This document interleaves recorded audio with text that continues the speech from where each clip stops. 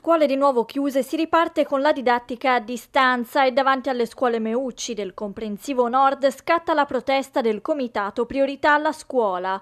Questa mattina alcuni genitori di bambini che frequentano l'infanzia e la primaria del plesso hanno vestito i figli come per un normale giorno di scuola, hanno riempito i loro zaini di quaderni, penne e dei PC per fare lezioni a distanza e si sono messi a seguire le lezioni sotto la loro scuola.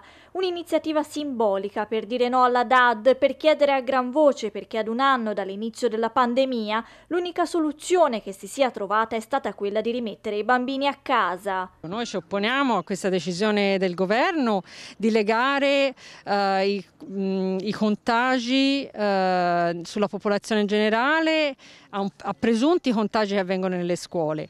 A Prato, e questi sono dati eh, da, datici dall'assessore Santi, Uh, su materne e infanzia su 509 classi a giovedì scorso c'erano 14 classi in quarantena, che non vuol dire c'è un focolaio, appunto, semplicemente c'è un bambino o una bambina positiva in classe. Scuole chiuse significa mettere di nuovo in difficoltà l'organizzazione quotidiana di intere famiglie che lavorano. Siamo molto in difficoltà perché ho il babbo che lavora da casa con il computer, io mamma che faccio la fotografa non riesco a stare dietro il mio lavoro perché devo stare dietro tre bambini e ovviamente una in DAT c'è un bambino poi di 8 mesi e un altro bambino di 4 anni che è alla materna.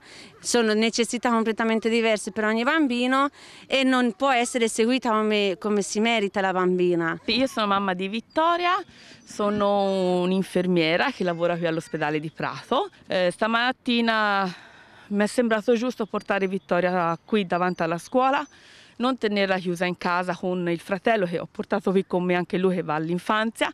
Non ho nessuno che me le possa guardare, quindi siamo venuti qui anche perché eh, voglio garantire a Vittoria eh, il suo diritto di studio. Insomma, è un po' difficile. Dov'è gli aiuti per le famiglie? Chi ci aiuta? Ti danno il congedo parentale, mi levano il 50% dello stipendio.